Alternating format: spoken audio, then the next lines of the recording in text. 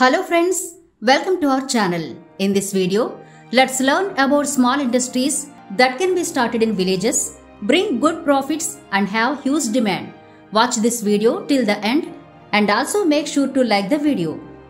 Going into details, friends, do you know coco peat? If you don't know, you must know about coco peat in this video because there is a huge demand for coco peat both in our country and abroad. Coco peat means the shell or husk that falls off in the process of separating coconut fiber from coconut is called coco peat. This coco peat is mostly used in nurseries.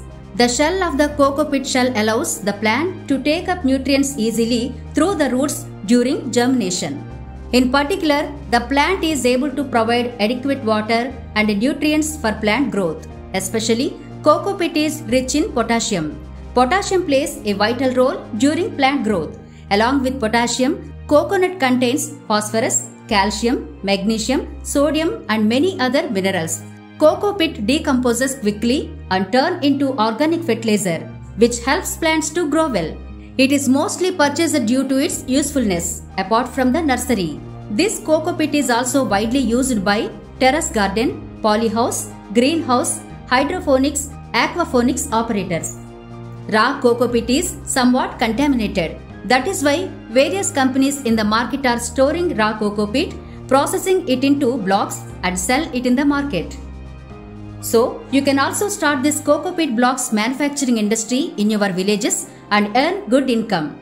Now let's see what the raw material and machinery required for the manufacturing of coconut blocks.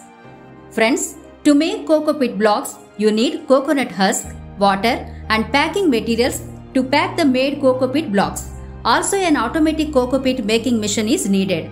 The price of this machine starts from 5 lakh rupees. There are ups and downs in machine prices depending upon the production capacity and features. Also indiamart.com there are sellers of these automatic coco peat making machines. You can buy the machine through them. Now let's see the details of the coco peat blocks making process. After dehusking the coconuts of coconut plantations and separating the fiber from it, the powder in it falls off, it should be collected. The previously collected husk should be spread on the ground on a sloping cement floor with a thickness of 10 cm and should be moistured with water every 4 hours, by which acid properties should be added to the husk because these are harmful to the trees.